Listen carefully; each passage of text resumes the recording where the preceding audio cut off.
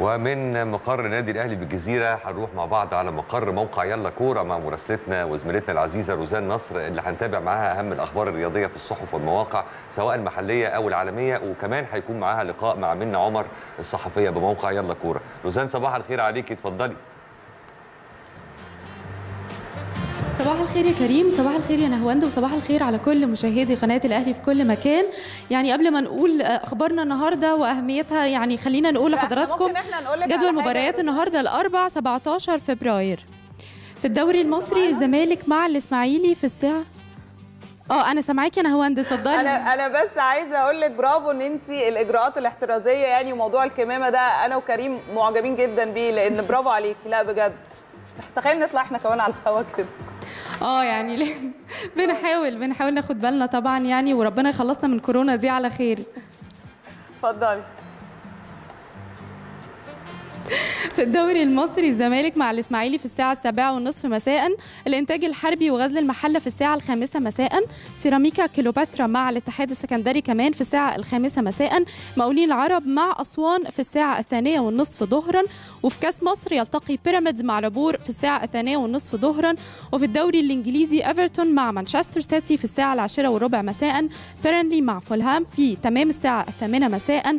وفي دوري أبطال أوروبا يلتقي بورتو مع يوفنتوس في الساعة العاشرة مساء. نروح بقى لأخبارنا اليومية وهنبدأ بالعناوين من موقع اليوم السابع. الأهلي يغلق ملف مباراة المريخ ويبدأ في التفكير في مواجهة سيمبا. من موقع يلا كورة صلاح يتوج بجائزة رجل مباراة لايبزيج وليفربول. من موقع في الجول. كومان يعلق. كنا نعلم ما سيحدث ضد باريس سان جيرمان وعلينا أن نكون واقعيين. وأخيرا من جريدة الشروق أزمة تكلفة مسحات كورونا تشتعل بين اتحاد الكرة والأندية. دخول بقى في كل تفاصيل أخبارنا النهارده. معانا صحفية موقع يلا كورة يعني منة عمر عشان تكلمنا أكتر عن تفاصيل مباريات امبارح بالأخص. إزيك إزيك يا منى؟ بنرحب بيكي عبر قناة الأهلي. في البداية يعني عن غلق الأهلي ملف مباراة المريخ. خليني أعرف شفتي ماتش امبارح إزاي؟ صباح الخير عليكم وصباح الخير على جماهير النادي الأهلي. آه بداية ماتش امبارح ده كان يعتبر ماتش سهل ممتنع بسبب النقص العددي اللي, اللي كان في النادي الأهلي سواء بسبب الغيابات زي علي معلول زي ايمن أشرف أو بسبب الإيقاف زي حسين الشحات. طبعا ثلاث عناصر أساسية في في, في تشكيل النادي الأهلي. بس الحمد لله البدائل اللي اعتمد عليها موسيماني أدت بشكل كويس.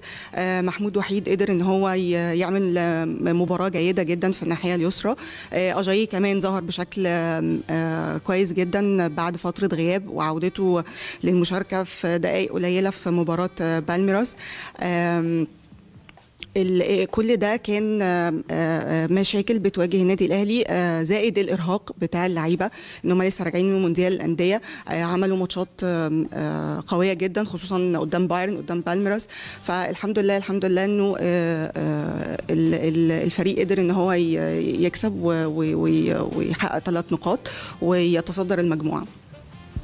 يعني صلاح فاز امبارح بجائزة أفضل يعني رجل في المباراة. خليني أعرف تعليقك عن أداء صلاح بشكل خاص ويعني المباراة عموماً. هو أخيرا ليفربول قدر إن هو يصالح جماهيره نوعا ما. صلاح قدر إن هو يوفي بوعده إنه بعد ماتش ليستر سيتي والخسارة هو كتب تويت وقال وقال إنه بيعد الجماهير إن هم هيقاتلوا كأبطال حتى النهاية. فهم قدروا فعلا إن هم يوفوا بوعدهم في في في مباراة لايبزيج. صلاح كمان أدى مباراة جيدة جدا كالعادة يعني قدر إن هو يسجل هدف اخذ رجل المباراة. مش بس كده صلاح عزز سجله القياسي مع ليفربول في ال Champions League ورفع رصيده من الأهداف ل 23 هدف. كمان صلاح بقى أصبح تاني أكتر لاعب بيسجل أهداف في الموسم بعد روبرت ليفاندوفسكي مهاجم بايرن ميونخ طبعا سجل 30 هدف. فالمكاسب كتير جدا من المباراة وأبرزها عودة الثقة لعيبة ليفربول ونتمنى إن شاء الله إن ده يظبط معاهم بقى في الدوري المحلي.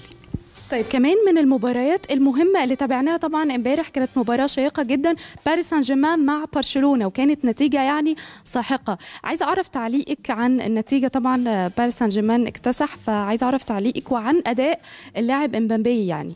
هي نتيجة مذلة مش- نتيجة ساحقة. ساحقة بالنسبة لباريس مذلة بالنسبة لبرشلونة. آه، الحقيقة قبل ما أعلق على امبابي آه، عايزة أعلق على تصريح كومان نفسه بعد المباراة. آه، ناس كتير وصفته بأن هو تصريح واقعي. أنا بالنسبة لي هو واقعي لدرجة الإحباط يعني. آه، يعني يعني أنا شايفة أن هو بيحبط اللعيبة في مباراة العودة. أه هي صعبة جدا. هو خسران 4-1 على أرضه فمحتاج أن هو يكسب 4-0 بره أرضه. طبعا صعب في ظل التراجع البدني لعيبة برشلونة والأخطاء الدفاعية اللي إحنا شفناها امبارح. أخطاء دفاعية كارثية يعني لكن ما ينفعش أوصل للاعيبتي أو أوصل للفريق بتاعي إنه الموضوع صعب أو إن الموضوع مستحيل. لأن برشلونة عملها قبل كده في 2016 2017 قدام باريس برضو كان خسران 4-0 بس بره ملعبه وقدر إن هو يكسب على ملعبه 6-1 فما فيش مستحيل في كرة القدم. آه ما فيش مشكلة إن أنا أبقى واقعي وأبقى عارف آه، إن أنا عندي أخطاء وعندي عيوب. محتاج إن أنا أعالجها بس ما وصلش الموضوع لدرجة الإحباط. آه، بالنسبة لمبابي آه، هو سجل هاتريك امبارح. مبابي أول لاعب يسجل هاتريك في برشلونة في في في مراحل آه، خروج المغلوب. آه، آه، يعني امبابي يعني قيمة كبيرة جدا جدا جدا. آه، هتبقى خسارة كبيرة جدا لباريس لو مشي من آه، من النادي آخر الموسم زي ما كان بيشاع أو كان بيقال إن هو مرتبط جدا إن هو يروح آه، ريال مدريد. آه، لاعب من طراز فريد آه، أعتقد إن ال- السنين ال- أو يعني مش السنين يعني ممكن ال- ال- السنة الجاية أو السنة اللي بعدها آه، إمبابي بقى هو اللي هيبدأ يسيطر على ال- الكرة الذهبية وال golden boot وال- وال- وال- والأرقام وال- والجوائز اللي كان مسيطر عليها قبل كده ميسي وكريستيانو. بنشكرك شكرا جزيلا صحفية موقع يلا كورة منة عمر عن تفاصيلها للأخبار النهاردة. يعني دي كانت جولة في أهم الأخبار النهاردة من موقع يلا كورة. بنشكركم جدا وعودة للاستوديو مرة تانية. إحنا اللي بنشكركم جزيل الشكر الزميلات الجميلات سلا حامد وروزان نصر. شكرا جزيلا ليكم.